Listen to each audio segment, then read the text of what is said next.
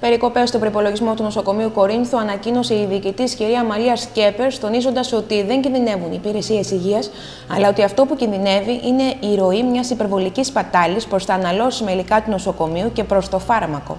Είναι, αυτή τη στιγμή είναι γύρω στα ε, 10 εκατομμύρια κάτι. Ήτανε 13, κάναμε περικοπές. Έχουν πάει στα Ναι, δέκα. ναι, ναι. Ε. Στα 10 εκατομμύρια. Προβλέπετε και άλλες περικοπές; Ε, περικοπές όχι με την έννοια, ε, μάλλον θα πρέπει σε αυτό τον προπολογισμό εμείς να κινηθούμε, με, να, να κάνουμε μια πιο ορθολογική ε, κατανομή αυτών των πόρων. Αυτό είναι το θέμα. Δηλαδή δεν κινδυνεύουν οι υπηρεσίες υγείας. Αυτό που κινδυνεύει είναι η, η, ε, η ροή μιας υπερβολικής ας πούμε, σπατάλης προς τα αναλώσιμα υλικά του νοσοκομείου και προς το φάρμακο. Από εκεί κάνουμε, την, Αυτό ε, να σας πω. από εκεί κάνουμε το, Και το αναλώσιμο την υλικά και περιστολή. το φάρμακο. Ναι. όμως. Ε, νομίζω η λέξη σπατάλη είναι πολύ ευγενική, είναι πολύ γαλλική. Ε, Ναι. Στο νοσοκομείο Κορίνθου. Πολύ γαλλική, από πραγματικά. Προσωπική εμπειρία δεν είναι σπατάλη. Ε, εδώ είναι ένα κύκλωμα ολόκληρο.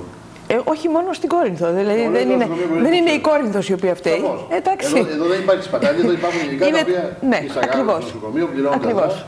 Ακριβώς. Και δεν παίρνουν ποτέ τις ευθυνίες, απλά. Λοιπόν, εισαγάγονται. από την ώρα που η Επιτροπή Προμηθειών εφήρμοσε το παρατηρητήριο τιμών, έχουν αρχίσει και φρενάρουν αυτές οι ιστορίες, ας πούμε, της ε, κατασπατάλησης των, των πόρων. Δηλαδή, θέλω να σας δώσω να καταλάβετε, δηλαδή, ότι ένας απεινιδωτής που πριν ε, ε, έκανε, ξέρω εγώ, ε, 30.000 ευρώ, είναι στις 9 και κάτι. Ε, τα φίλτρα του νεφρού έχουμε πετύχει καλύτερες τιμές και σε πολλά άλλα είδη και σε πολλά άλλα είδη. Έχουμε πετύχει πολύ καλύτερες τιμές. Δηλαδή, ακόμα και όταν ας πούμε, μας δίνουν ε, ε, τρεις προμηθευτές την ίδια τιμή, πάλι μπορούμε να μπούμε σε διαπραγμάτευση μαζί τους. Δηλαδή, υπάρχουν, έχουμε κάποια εργαλεία πια ώστε με την πρόοδο του χρόνου να μπορέσουν να συμπιέσουν τις τιμές προς τα κάτω. Εγώ προσωπικά εκτιμώ ότι αν Ναι. το καταφέρετε αυτό, θα έχετε επιτύχει το ε, 10ο άθλο ή το 8ο θαύμα. Είμαστε προς, σε αυτή την Είναι πορεία. πολύ δύσκολο γιατί φαντάζομαι ότι, όχι φαντάζομαι, ξέρω, ε, και το σύστημα αυτό που είναι πίσω από αυτή την ε, τεράστια ε, Ναι. σπατάλη των υλικών, και θα σα ρωτήσω για το φαρμακείο μετά τους, Ναι. τα φάρμακα, φαντάζομαι ότι δεν αποδέχεται τόσο εύκολα να καθούν τα προνόμια δεκαετιών. Δεν αποδέχονται τόσο εύκολα οι ιατροί να τους πεις να- ε, ότι περιορίστε τα φάρμακά σας, ξέρω εγώ, ή να κάνουμε την ε, νοσοκομιακή λίστα, ή να ξέρουμε και κάθε κλινική τι καταναλώνει ακριβώς. Αυτό είναι μια δυσκολία που βρίσκουμε.